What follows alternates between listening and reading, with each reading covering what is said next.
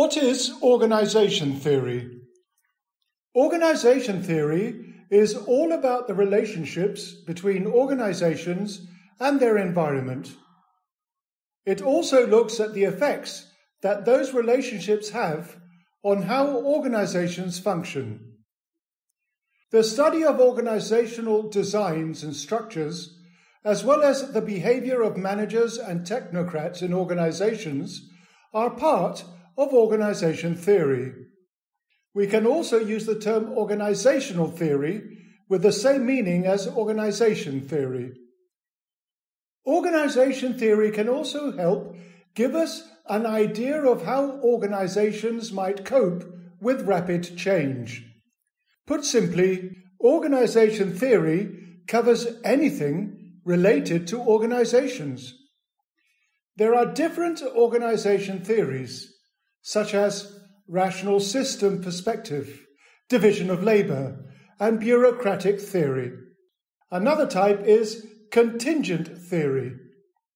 The Cambridge Dictionary has the following definition of organization theory the study of how organizations work and why they are or are not successful. Which organization theory to use depends on several factors, such as the business environment, type of personnel, and your company's goals and objectives. Your goal is what you want your business to become and when. Your objective describes how you plan to get there. Classical organization theory appeared towards the end of the 19th century. It emerged mainly in the private sector, but also partly in the public sector. In both cases, the focus was on efficiency theories. Efficiency is all about getting the most out of what you have available. Organization theory has evolved considerably over the past 130 or so years.